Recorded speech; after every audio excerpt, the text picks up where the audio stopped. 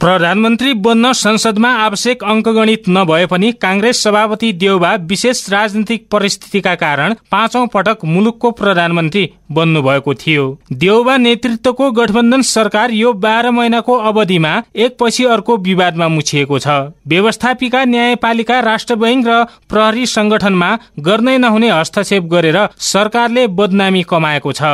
यो अवधिमा देउबाको अधिकांश समय मन्त्री फेर्ने र गठबन्धनका सदस्य सदस्य दलहरू बीचको किचलो मिलाउनमै खर्च भयो। गठबन्धनका सदस्य दलहरू बीचको विवाद मिलाउनकै लागि प्रधानमन्त्री देउबाले गत वर्ष चार र यो वर्ष दुई पटक गरी छ पटक मन्त्री परिषद पुनर्गठन गरिसक्नु भएको छ।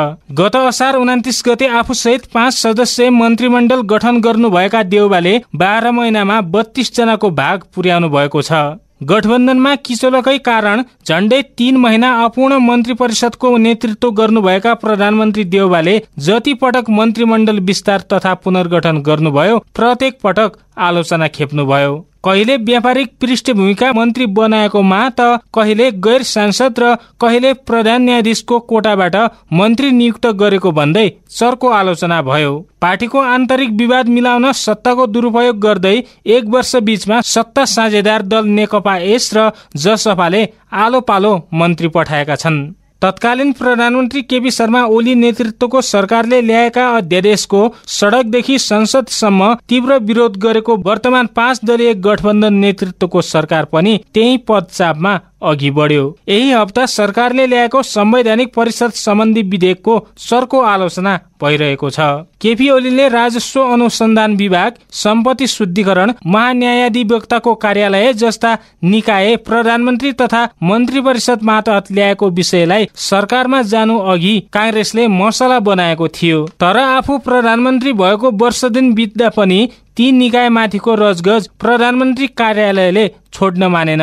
प्रधानमन्त्री देउबाले अहिलेसम्म तीनजना गैर सांसदलाई मन्त्री नियुक्त गर्नुभएको छ जुन सरकारको एक वर्ष अवधिमा सरको आलोचनाको विषय बन्यो।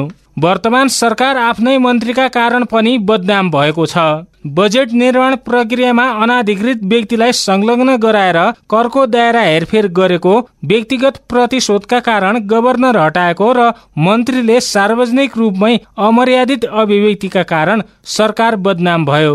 मुलुकमा आर्थिक संकटको अवस्था रहेको बेला नेपाल प्रहरीको लागि चौरासी करोड बराबरको हतियार किन्ने सरकारको तयारी प्रति चौतर्फी आलोचना भएको छ।